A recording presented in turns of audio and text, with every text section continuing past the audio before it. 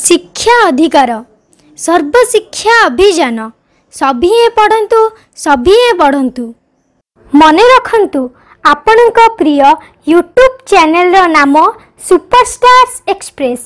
ପ୍ରତ୍ୟେକ ରବିବାର ଦିନ ଦଶଟା ପରଠାରୁ ଉକ୍ତ ଚ୍ୟାନେଲ ଖୋଲି ନୂଆ ନୂଆ ଚଟାପଟ ସ୍ମାର୍ଟ କାର୍ଯ୍ୟକ୍ରମ ଦେଖିବାର ସୁଯୋଗ ନିଅନ୍ତୁ ଏବଂ ଆମକୁ ଉତ୍ସାହିତ କରନ୍ତୁ। ଆସନ୍ତୁ। ଏବେ ଆଜି ଆମେ ଚତୁର୍ଥ ଶ୍ରେଣୀ।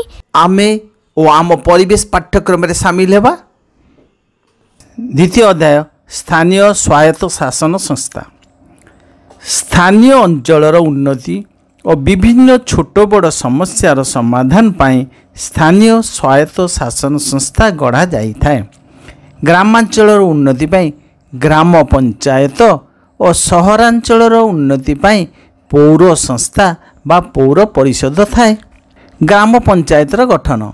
ଗ୍ରାମ ପଞ୍ଚାୟତ ସାଧାରଣତଃ ଦୁଇ ହଜାରରୁ ଦଶ ହଜାର ପର୍ଯ୍ୟନ୍ତ ଲୋକ ଥିବା ଅଞ୍ଚଳକୁ ନେଇ ଗଠିତ ହୋଇଥାଏ। କେତେ ଗୁଡ଼ିଏ ଛୋଟ ଛୋଟ କିମ୍ବା ଗୋଟିଏ ବଡ଼ ଗ୍ରାମକୁ ନେଇ ଗ୍ରାମ ପଞ୍ଚାୟତ ଗଢ଼ା ହୋଇଥାଏ ପ୍ରତି ଗ୍ରାମ ପଞ୍ଚାୟତକୁ କେତେ ଗୁଡ଼ିଏ ୱାର୍ଡ଼ରେ ବିଭକ୍ତ କରାଯାଏ। ଏହା ଫଳରେ ବିଭିନ୍ନ ୱାର୍ଡ଼କୁ ଆଖି ଆଗରେ ରଖି ଗ୍ରାମବାସୀଙ୍କ ଉନ୍ନତି ଲାଗି ଜନମଙ୍ଗଳ କାର୍ଯ୍ୟ କରିହୁଏ। ଗ୍ରାମ ପଞ୍ଚାୟତର ନିର୍ବାଚନ ପ୍ରତି ପାଞ୍ଚ ବର୍ଷରେ ଥରେ ହୋଇଥାଏ। ଅଠର ବର୍ଷ ବା ତହିଁରୁ ଅଧିକ ବୟସର ଲୋକେ ସିଧାସଳଖ ଭାବେ ଭୋଟ ଦେଇ ଜଣକୁ ସରପଞ୍ଚ ଓ ନିଜ ନିଜ ୱାର୍ଡ଼ର ୱାର୍ଡ଼ ମେମ୍ବରମାନଙ୍କୁ ନିର୍ବାଚିତ କରିଥାନ୍ତି। ୱାର୍ଡ଼ ମେମ୍ବରମାନେ ସେମାନଙ୍କ ମଧ୍ୟରୁ ଜଣକୁ ନାଏବ ସରପଞ୍ଚ ରୂପେ ମନୋନୀତ କରନ୍ତି। ସରପଞ୍ଚ ଗ୍ରାମ ପଞ୍ଚାୟତର ମୁଖ୍ୟ ଅଟନ୍ତି। ସେ ପଞ୍ଚାୟତ ବୈଠକରେ ସଭାପତିତ୍ୱ କରନ୍ତି। ତାଙ୍କ ଅନୁପସ୍ଥିତିରେ ନାୟବ ସରପଞ୍ଚ ସଭା କାର୍ଯ୍ୟ ତୁଲାଇଥାନ୍ତି। ସରପଞ୍ଚଙ୍କୁ କାର୍ଯ୍ୟରେ ସାହାଯ୍ୟ କରିବା ପାଇଁ ପ୍ରତି ଗ୍ରାମ ପଞ୍ଚାୟତରେ ଜଣେ ସମ୍ପାଦକ ଥାଆନ୍ତି। ଯେଉଁଠାରେ ସମ୍ପାଦକ ନଥାନ୍ତି ଗ୍ରାମ ସେବକ ସେ କାର୍ଯ୍ୟ ତୁଲାଇଥାନ୍ତି। ବର୍ତ୍ତମାନ ଆମେ ନିର୍ବାଚିତ ପ୍ରତିନିଧିଙ୍କ ପଦବୀ ପୂରଣ କରିବା। ଗ୍ରାମ ପଞ୍ଚାୟତ। ପ୍ରଥମେ ହେଲେ ସରପଞ୍ଚ ତାଙ୍କ ତଳକୁ ହେଲେ ନାୟବ ସରପଞ୍ଚ ତାଙ୍କ ତଳକୁ ହେଲେ ୱାର୍ଡ଼ ମେମ୍ବର। ଏକ ବିଶେଷ ସୂଚନା। ନମସ୍କାର। ଏତଦ୍ୱାରା ସମସ୍ତ ବିଦ୍ୟାର୍ଥୀମାନଙ୍କୁ ସୂଚାଇ ଦିଆଯାଉଛି କି ଆପଣମାନେ ନୂତନ ଦର୍ଶକ ହୋଇଥିବାରୁ ପ୍ରଥମେ ନାଲି ଅକ୍ଷରରେ ଥିବା ସବସ୍କ୍ରାଇବ୍ ବଟନ୍ଟିକୁ ଟିପନ୍ତୁ। ତାପରେ ସବସ୍କ୍ରାଇବ୍ ପାଖରେ ଥିବା ବେଲ୍ ଆଇକନ୍ ଘଣ୍ଟିଟିକୁ ଦବାଇ ଦିଅନ୍ତୁ। ଶେଷରେ ଅଲ୍ ଲେଖା ହୋଇଥିବା ଘଣ୍ଟିଟିକୁ ଟିପି ଦିଅନ୍ତୁ। ଏଭଳି କରିବା ଦ୍ୱାରା ଆପଣ ଆମର ସମସ୍ତ ଶିକ୍ଷା ପ୍ରୋଗ୍ରାମ ଦେଖିପାରିବେ ଗ୍ରାମ ପଞ୍ଚାୟତର କାର୍ଯ୍ୟ ଗ୍ରାମ ପଞ୍ଚାୟତର କାର୍ଯ୍ୟ ଦୁଇ ପ୍ରକାର ଏକରେ ବାଧ୍ୟତାମୂଳକ କାର୍ଯ୍ୟ ଦୁଇରେ ଇଚ୍ଛାଧୀନ କାର୍ଯ୍ୟ ବାଧ୍ୟତାମୂଳକ କାର୍ଯ୍ୟ ପାନୀୟ ଜଳର ବ୍ୟବସ୍ଥା କରିବା ଆଲୋକର ବ୍ୟବସ୍ଥା କରିବା ଗ୍ରାମ ରାସ୍ତା ମରାମତି ଓ ନିର୍ମାଣ କରିବା ଗ୍ରାମର ପରିଷ୍କାର ଓ ପରିଚ୍ଛନ୍ନତା ପ୍ରତି ଯତ୍ନବାନ ହେବା ଗ୍ରାମବାସୀଙ୍କ ସ୍ୱାସ୍ଥ୍ୟର ଯତ୍ନ ନେବା ଜନ୍ମ ମୃତ୍ୟୁ ପଞ୍ଜୀକରଣ କରିବା ଚାଷ ପାଇଁ ଅଧିକ ଅମଳକ୍ଷମ ବିହନ ଓ ସାର ଋଣ ବ୍ୟବସ୍ଥା କରିବା। ନିଜ ଅଞ୍ଚଳରେ ହେଉଥିବା ଯାତ୍ରା ଓ ମେଳାର ନିୟନ୍ତ୍ରଣ କରିବା ପଞ୍ଚାୟତ ଅଞ୍ଚଳରେ ଶିକ୍ଷାର ବ୍ୟବସ୍ଥା କରିବା ଗୋଚର ଜମି ସଂରକ୍ଷଣ କରିବା। ଇଚ୍ଛାଧୀନ କାର୍ଯ୍ୟ। ମାତୃମଙ୍ଗଳ କେନ୍ଦ୍ର ସ୍ଥାପନ କରିବା ସମବାୟ ସମିତି ଗଠନ କରିବା ମାଛ ଚାଷ କୁକୁଡ଼ା ପାଳନ ଗୋପାଳନ ପାଇଁ ଅର୍ଥର ବ୍ୟବସ୍ଥା କରିବା ରାସ୍ତାକଡ଼ ଗ୍ରାମାଞ୍ଚଳରେ ବୃକ୍ଷରୋପଣ କରିବା ପାଠାଗାର ସ୍ଥାପନ କରିବା। ଗ୍ରାମ ପଞ୍ଚାୟତ ନିଜର କାର୍ଯ୍ୟ ପାଇଁ କେଉଁଠୁ ଅର୍ଥ ପାଏ? ସାଧାରଣତଃ ଗ୍ରାମ ପଞ୍ଚାୟତ ଦୁଇଟି ସୂତ୍ରରୁ ଅର୍ଥ ପାଇଥାଏ। ଏକରେ ରାଜ୍ୟ ସରକାର ଗ୍ରାମାଞ୍ଚଳ ଉନ୍ନତି ନିମନ୍ତେ କିଛି ଅର୍ଥ ଅନୁଦାନ ଭାବେ ଦେଇଥାନ୍ତି। ଦୁଇ ଗ୍ରାମ ପଞ୍ଚାୟତର ନିଜସ୍ୱ କିଛି ଆୟ ଥାଏ ଯେପରି ଶଗଡ଼ ସାଇକେଲ ରିକ୍ସା ଅଟୋରିକ୍ସା ଆଦିର ଚଳାଚଳ ପାଇଁ ଗ୍ରାମ ପଞ୍ଚାୟତ ଅର୍ଥ ଆଦାୟ କରେ। ଏହାଛଡ଼ା ପଞ୍ଚାୟତ ପୋଖରୀ ନିଲାମ ଦେଇ ହାଟ ବଜାର କାଞ୍ଜିଆ ହୁଦା ଓ ନଦୀଘାଟରୁ କର ଆଦାୟ କରି ଅର୍ଥ ଉପାର୍ଜନ କରେ। ତୁମ ପାଇଁ ପ୍ରଶ୍ନ ପିଲାମାନେ ପୂର୍ବ ପୃଷ୍ଠାମାନଙ୍କରେ ତୁମକୁ ଯେଉଁ ବିଷୟ ଗୁଡ଼ିକ ପଢ଼ାଇ ଦିଆହେଲା ତାହାରି ଆଧାରରେ ନିମ୍ନ ପ୍ରଶ୍ନମାନ ରହିଛି ତେଣୁ ତୁମେ ନିଜେ ନିଜେ ନିଜେ ଏହାର ଉତ୍ତର ଲେଖିପାରିବ ପ୍ରଶ୍ନ ଏକ ଗ୍ରାମ ପଞ୍ଚାୟତ କିପରି ଗଠିତ ହୋଇଥାଏ ପ୍ରଶ୍ନ ଦୁଇ ଗ୍ରାମ ପଞ୍ଚାୟତର ଯେକୌଣସି ପାଞ୍ଚଟି ବାଧ୍ୟତାମୂଳକ କାର୍ଯ୍ୟ ଲେଖ ପ୍ରଶ୍ନ ତିନି ଗ୍ରାମ ପଞ୍ଚାୟତର ଯେକୌଣସି ପାଞ୍ଚଟି ଇଚ୍ଛାଧୀନ କାର୍ଯ୍ୟ ଲେଖ ପ୍ରଶ୍ନ ଚାରି ଗ୍ରାମ ପଞ୍ଚାୟତର ନିଜର କାର୍ଯ୍ୟ ପାଇଁ ଆବଶ୍ୟକ ଅର୍ଥ କେଉଁଠୁ ଯୋଗାଡ଼ କରିଥାଏ ପଞ୍ଚାୟତ ସମିତି ଗଠନ ଗୋଟିଏ ବ୍ଲକରେ ଥିବା ସମସ୍ତ ଗ୍ରାମ ପଞ୍ଚାୟତକୁ ନେଇ ପଞ୍ଚାୟତ ସମିତି ଗଢ଼ା ହୋଇଥାଏ। ପଞ୍ଚାୟତ ସମିତି ପାଇଁ ପ୍ରତ୍ୟେକ ପଞ୍ଚାୟତର ଜଣେ ଲେଖାଏଁ ସଦସ୍ୟ ଲୋକମାନଙ୍କ ଦ୍ୱାରା ସିଧାସଳଖ ନିର୍ବାଚିତ ହୋଇଥାନ୍ତି। ନିର୍ବାଚିତ ସଦସ୍ୟମାନେ ସେମାନଙ୍କ ମଧ୍ୟରୁ ଜଣକୁ ଚେୟାରମ୍ୟାନ୍ ବା ସଭାପତି ଓ ଆଉ ଜଣକୁ ଭାଇସ୍ ଚେୟାରମ୍ୟାନ୍ ବା ଉପସଭାପତି ଭାବେ ବାଛିଥାନ୍ତି। ଚେୟାରମ୍ୟାନ୍ ପଞ୍ଚାୟତ ସମିତିର ମୁଖ୍ୟ ଅଟନ୍ତି। ଏମାନଙ୍କ ବ୍ୟତୀତ ସରପଞ୍ଚ ସ୍ଥାନୀୟ ବିଧାନସଭା ଲୋକସଭା ଓ ବିଧାନ ପରିଷଦର ସଦସ୍ୟମାନେ ମଧ୍ୟ ଏହାର ସଦସ୍ୟ ଅଟନ୍ତି। ପଞ୍ଚାୟତ ସମିତି କିପରି କାର୍ଯ୍ୟ କରେ? ପଞ୍ଚାୟତ ସମିତି କାର୍ଯ୍ୟର ସୁପରିଚାଳନା ନିମନ୍ତେ ପ୍ରତି ବ୍ଲକରେ ଜଣେ ବ୍ଲକ ଉନ୍ନୟନ ଅଧିକାରୀ ବା ସଂକ୍ଷେପରେ ବି ଡ଼ି ଓ ସରକାରଙ୍କ ଦ୍ୱାରା ନିଯୁକ୍ତ ହୋଇଥାନ୍ତି। ଚେୟାରମ୍ୟାନଙ୍କ ପରାମର୍ଶ ଅନୁସାରେ ସେ ବ୍ଲକ ପାଇଁ କାମ କରନ୍ତି। ପଞ୍ଚାୟତ ସମିତିର ବୈଠକ ପ୍ରତି ଦୁଇ ମାସରେ ଥରେ ବସିଥାଏ। ଏହି ବୈଠକରେ ଚେୟାରମ୍ୟାନ୍ ସଭାପତି ରୂପେ ଓ ବି ଡ଼ି ଓ ସମ୍ପାଦକ ରୂପେ କାର୍ଯ୍ୟ କରନ୍ତି। ଚେୟାରମ୍ୟାନଙ୍କ ଅନୁପସ୍ଥିତିରେ ଭାଇସ୍ ଚେୟାରମ୍ୟାନ୍ ସଭାପତି କାର୍ଯ୍ୟ ତୁଲାଇଥାନ୍ତି। ନୂତନ ପଞ୍ଚାୟତମାନ ଗଠିତ ହେଲେ ପଞ୍ଚାୟତ ସମିତିର ସଦସ୍ୟମାନେ ବଦଳିଥାନ୍ତି। ବ୍ଲକ କାର୍ଯ୍ୟାଳୟରେ ପଞ୍ଚାୟତ ସମିତିର କାର୍ଯ୍ୟ ଚାଲିଥାଏ। ଜିଲ୍ଲା ପରିଷଦ ଗଠନ। ରାଜ୍ୟର ପ୍ରତି ଜିଲ୍ଲାରେ ଗୋଟିଏ ଗୋଟିଏ ଜିଲ୍ଲା ପରିଷଦ ରହିଥାଏ। ଜିଲ୍ଲା ପରିଷଦ ଜିଲ୍ଲାର ମଙ୍ଗଳ ନିମନ୍ତେ ଯୋଜନା ପ୍ରସ୍ତୁତ କରନ୍ତି। ଗ୍ରାମ ପଞ୍ଚାୟତ ଓ ପଞ୍ଚାୟତ ସମିତିକୁ ଆର୍ଥିକ ସାହାଯ୍ୟ ଦିଅନ୍ତି। ପ୍ରତି ଜିଲ୍ଲାକୁ କେତେଗୁଡ଼ିଏ ଜିଲ୍ଲା ପରିଷଦ ଅଞ୍ଚଳରେ ବିଭକ୍ତ କରାଯାଇଛି। ପ୍ରତି ଅଞ୍ଚଳରୁ ଜଣେ ଜଣେ ସଭ୍ୟ ନିର୍ବାଚିତ ହୁଅନ୍ତି ସେହି ସବୁ ସଭ୍ୟମାନେ ସେମାନଙ୍କ ମଧ୍ୟରୁ ଜିଲ୍ଲା ପରିଷଦର ଅଧ୍ୟକ୍ଷ ଉପାଧ୍ୟକ୍ଷଙ୍କୁ ନିର୍ବାଚିତ କରିଥାନ୍ତି। ଜିଲ୍ଲା ପରିଷଦ ପାଞ୍ଚ ବର୍ଷ ପାଇଁ କାମ କରିଥାଏ। ସହରାଞ୍ଚଳରେ ଥିବା ସ୍ୱାୟତ୍ତ ଶାସନ ସଂସ୍ଥା। ସହରାଞ୍ଚଳରେ ଥିବା ସ୍ୱାୟତ୍ତ ଶାସନ ସଂସ୍ଥାକୁ ପୌର ସଂସ୍ଥା ବା ପୌର ପରିଷଦ କୁହାଯାଏ। ଏହା ତିନି ପ୍ରକାରର ଯଥା ବିଜ୍ଞାପିତ ଅଞ୍ଚଳ ପରିଷଦ ଏନ୍ ଏ ସି ଦୁଇ ନଗରପାଳିକା ମ୍ୟୁନିସିପାଲିଟି ତିନି ମହାନଗର ନିଗମ କର୍ପୋରେସନ୍ ସହରାଞ୍ଚଳ ଉନ୍ନତି ପାଇଁ ପୌର ସଂସ୍ଥା କାର୍ଯ୍ୟ କରେ। ଦଶ ହଜାରରୁ ଅଧିକ ଲୋକ ବାସ କରୁଥିବା ସହରରେ ବିଜ୍ଞାପିତ ଅଞ୍ଚଳ ପରିଷଦ ଗଠିତ ହୁଏ। ଏକ ଲକ୍ଷରୁ ଅଧିକ ଲୋକ ବାସ କରୁଥିବା ସହରମାନଙ୍କରେ ନଗରପାଳିକା ବା ମ୍ୟୁନିସିପାଲିଟି ଗଠିତ ହୁଏ। ଦଶ ଲକ୍ଷରୁ ଅଧିକ ଲୋକ ବାସ କରୁଥିବା ସହରରେ ମହାନଗର ନିଗମ ବା କର୍ପୋରେସନ୍ ଗଠିତ ହୋଇଥାଏ। ଆମ ରାଜ୍ୟରେ କଟକ ଭୁବନେଶ୍ୱର ଓ ବ୍ରହ୍ମପୁର ତିନୋଟି ମହାନଗର ନିଗମ ଅଟେ। ପୌର ସଂସ୍ଥାର ପ୍ରତ୍ୟେକ ୱାର୍ଡ଼ରେ ବାସ କରୁଥିବା ଅଠର ବର୍ଷ ବା ତାଠାରୁ ଅଧିକ ବୟସର ଭୋଟରମାନେ ଭୋଟ ଦେଇ ନିଜ ପ୍ରତିନିଧି ବାଛିଥାନ୍ତି। ବିଜ୍ଞାପିତ ଅଞ୍ଚଳ ପରିଷଦର ପ୍ରତିନିଧିମାନଙ୍କୁ କାଉନସିଲର କୁହାଯାଏ। ନିର୍ବାଚିତ କାଉନସିଲରମାନେ ସେମାନଙ୍କ ମଧ୍ୟରୁ ଜଣକୁ ନଗରପାଳ ଓ ଆଉ ଜଣକୁ ଉପନଗରପାଳ ଭାବେ ବାଛନ୍ତି। ମହାନଗର ନିଗମର ୱାର୍ଡ଼ ପ୍ରତିନିଧିଙ୍କୁ କର୍ପୋରେଟର କୁହାଯାଏ। ନିର୍ବାଚିତ କର୍ପୋରେଟରମାନେ ସେମାନଙ୍କ ମଧ୍ୟରୁ ଜଣକୁ ମେୟର ଆଉ ଜଣକୁ ଡେପୁଟି ମେୟର ଭାବେ ବାଛନ୍ତି। ନଗରପାଳକଙ୍କୁ ଶାସନ କାର୍ଯ୍ୟରେ ସହାୟତା କରିବା ପାଇଁ ଜଣେ କାର୍ଯ୍ୟନିର୍ବାହୀ ଅଧିକାରୀ ବା ଏକ୍ଜିକ୍ୟୁଟିଭ୍ ଅଫିସର ଥାନ୍ତି ମେୟର ମହାନଗର ନିଗମର ମୁଖ୍ୟ ଅଟନ୍ତି। ମହାନଗର ନିଗମର ଶାସନକାଳ ବୁଝୁଥିବା ସରକାରୀ ମୁଖ୍ୟଙ୍କୁ ମହାନଗର ନିଗମ କମିଶନର କୁହାଯାଏ। ନିର୍ବାଚିତ ପ୍ରତିନିଧିଙ୍କ ପଦବୀ କିପରି?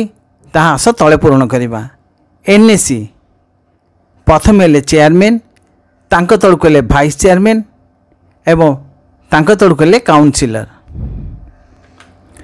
ପୌର ପରିଷଦର କାର୍ଯ୍ୟ ଏକରେ ବାଧ୍ୟତାମୂଳକ କାର୍ଯ୍ୟ। ପାନୀୟ ଜଳ ପାଇଁ କୂଅ ନଳକୂଅ ଓ ପାଣି ପାଇପ୍ର ବ୍ୟବସ୍ଥା ସହରର ପ୍ରତ୍ୟେକ ସ୍ଥାନକୁ ବିଦ୍ୟୁତ ଆଲୋକ ଯୋଗାଣ ରାସ୍ତାଘାଟ ନାଳ ନର୍ଦ୍ଦମା ଆଦିରେ ଜମି ରହୁଥିବା ଅଳିଆ ଆବର୍ଜନାର ସଫେଇ ରାସ୍ତାଘାଟ ନିର୍ମାଣ ଓ ମରାମତି ଜନ୍ମ ମୃତ୍ୟୁ ପଞ୍ଜୀକରଣ।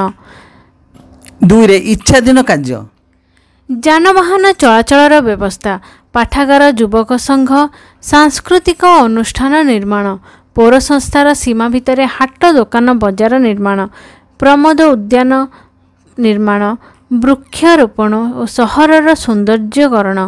ପୌର ପରିଷଦ କେଉଁଠୁ ଅର୍ଥ ପାଏ? ପୌର ପରିଷଦ ବିଭିନ୍ନ ବିକାଶମୂଳକ କାର୍ଯ୍ୟ କରିବା ପାଇଁ ସରକାରଙ୍କଠାରୁ ଅନୁଦାନ ପାଇଥାଏ। ଏତଦ୍ ବ୍ୟତୀତ ଶୁଳ୍କ ଆକାରରେ ସହର ଲୋକମାନଙ୍କଠାରୁ ଟଙ୍କା ଆଦାୟ କରିଥାଏ। ପ୍ରଶ୍ନ ନଗରପାଳ କାହାକୁ କହନ୍ତି? ସେ କିପରି ନିର୍ବାଚିତ ହୁଅନ୍ତି? ବିଜ୍ଞାପିତ ଅଞ୍ଚଳ ବା ଏନ୍ଏସି ଏବଂ ମ୍ୟୁନିସିପାଲିଟିର ମୁଖ୍ୟଙ୍କୁ ନଗରପାଳ ବା ଚେୟାରମ୍ୟାନ୍ କୁହାଯାଏ। ପ୍ରତି ଏନ୍ଏସି ଓ ମ୍ୟୁନିସିପାଲିଟିକୁ କେତେଗୁଡ଼ିଏ ୱାର୍ଡ଼ରେ ବିଭକ୍ତ କରାଯାଏ। ପ୍ରତି ୱାର୍ଡ଼ର ସାବାଳକ ଭୋଟରମାନେ ଭୋଟ ଦେଇ ନିଜ ନିଜ ୱାର୍ଡ଼ ପ୍ରତିନିଧି ବା କାଉନସିଲରମାନଙ୍କୁ ବାଛିଥାନ୍ତି। ଏହି କାଉନସିଲରମାନେ ନିଜ ନିଜ ମଧ୍ୟରୁ ଜଣକୁ ନଗରପାଳ ବା ଚେୟାରମ୍ୟାନ୍ ଆଉ ଜଣକୁ ନ- ଉପନଗରପାଳ ବା ଭାଇସ୍ ଚେୟାରମ୍ୟାନ୍ ରୂପେ ବାଛିଥାନ୍ତି। ନଗରପାଳଙ୍କୁ ତାଙ୍କ କାର୍ଯ୍ୟରେ ସାହାଯ୍ୟ କରିବା ପାଇଁ ଜଣେ କାର୍ଯ୍ୟନିର୍ବାହୀ ଅଧିକାରୀ ବା ଏକ୍ଜିକ୍ୟୁଟିଭ୍ ଅଫିସର ଥାନ୍ତି ନିର୍ବାଚିତ ପ୍ରତିନିଧିଙ୍କ ପଦବୀ ଆସ ପୂରଣ କରିବା। ମହାନଗର ନିଗମ ପ୍ରଥମେ ହେଲେ ମେୟର ତାଙ୍କ ତଳକୁ ହେଲେ ଡେପୁଟି ମେୟର ତାଙ୍କ ତଳକୁ ହେଲେ କର୍ପୋରେଟର ମହାନଗର ନିଗମର ଗଠନ ପ୍ରଣାଳୀ ଲେଖ ପ୍ରତ୍ୟେକ ମହାନଗର ନିଗମକୁ କେତେଗୁଡ଼ିଏ ୱାର୍ଡ଼ରେ ବିଭକ୍ତ କରାଯାଇଛି ସାବାଳକ ଭୋଟରମାନେ ଭୋଟ ଦେଇ ନିଜ ନିଜ ୱାର୍ଡ଼ର ୱାର୍ଡ଼ ପ୍ରତିନିଧି ବା କର୍ପୋରେଟରମାନଙ୍କୁ ବାଛିଥାନ୍ତି।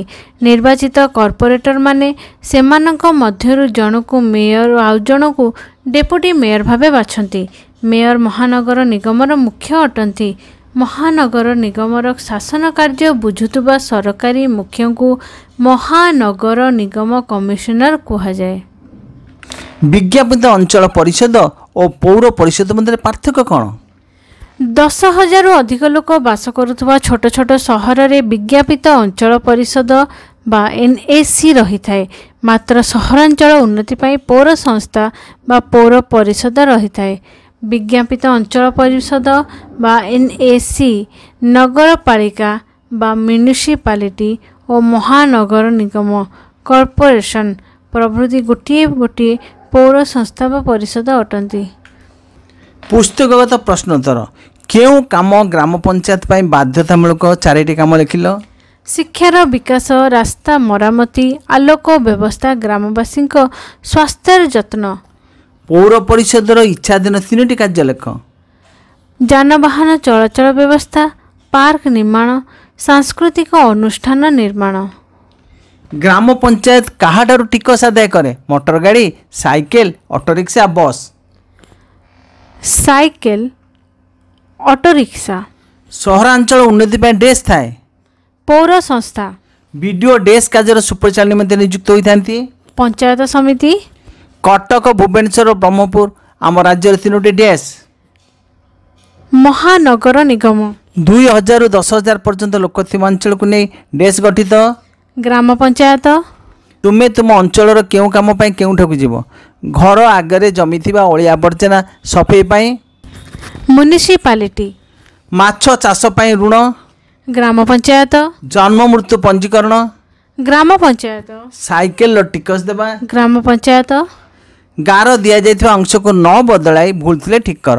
ସରପଞ୍ଚ ପଞ୍ଚାୟତ ସମିତିର ମୁଖ୍ୟ ଅଟନ୍ତି? ସରପଞ୍ଚ ଗ୍ରାମ ପଞ୍ଚାୟତର ମୁଖ୍ୟ ଅଟନ୍ତି। ମହାନଗର ନିଗମର ଲୋକସଂଖ୍ୟା ଏକ ଲକ୍ଷରୁ ଅଧିକ? ମହାନଗର ନିଗମର ଲୋକସଂଖ୍ୟା ଦଶ ଲକ୍ଷରୁ ଅଧିକ। ଗ୍ରାମ ପଞ୍ଚାୟତରେ ନିର୍ବାଚନ ଛଅ ବର୍ଷରେ ଥରେ ହୁଏ?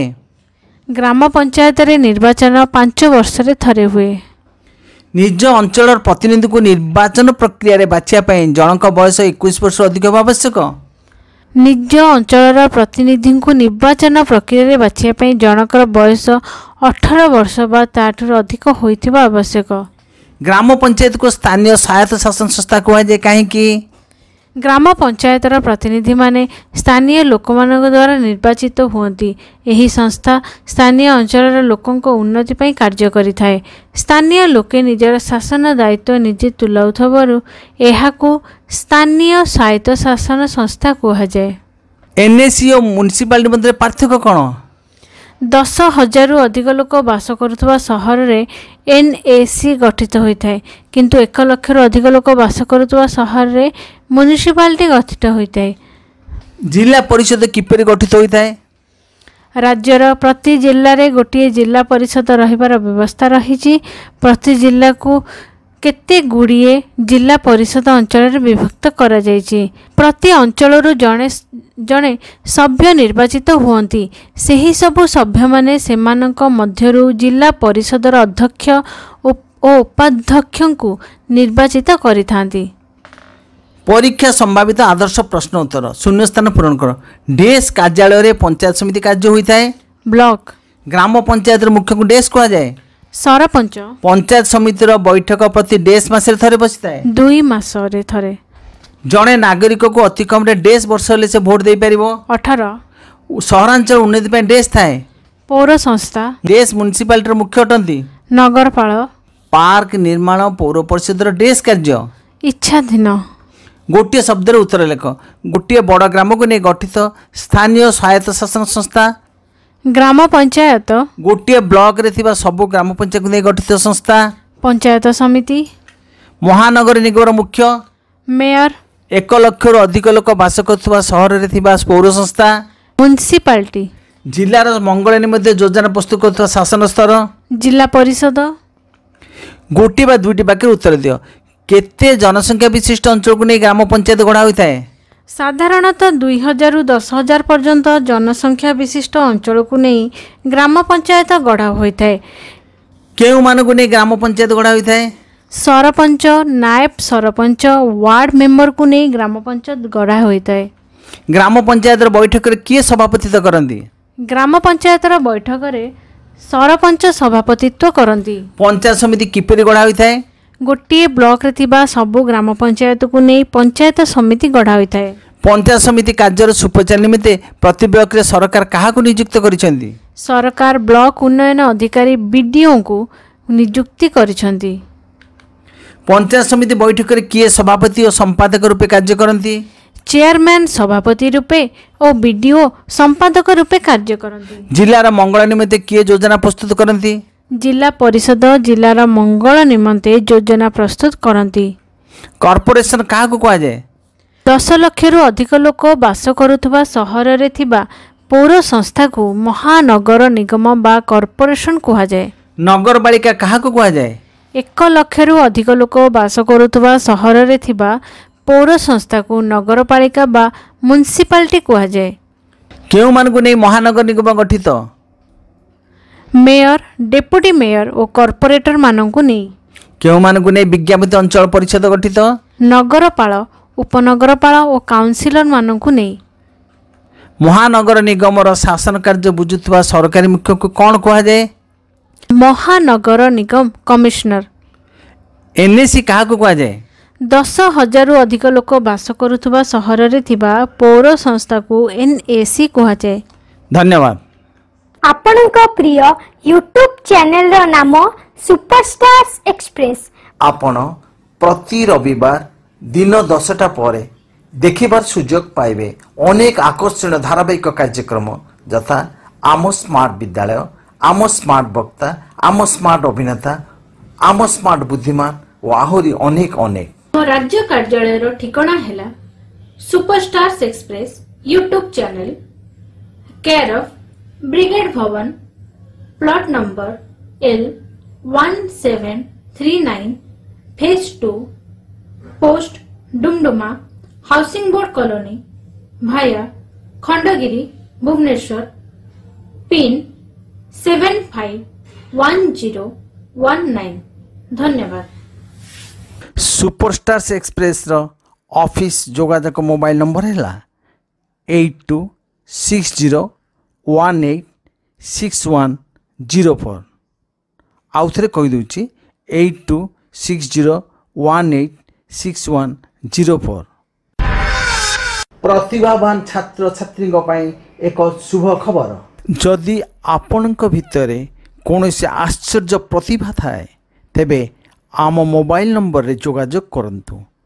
ଆମେ ଆପଣଙ୍କୁ ଆମ ୟୁଟ୍ୟୁବ୍ ଚ୍ୟାନେଲରେ ପ୍ରତିଭା ପ୍ରଦର୍ଶନ ସୁଯୋଗ ଦେବା ପାଇଁ ଚେଷ୍ଟା କରିବୁ। ବୟସ ଦୁଇ ବର୍ଷରୁ ଅଠର ବର୍ଷ।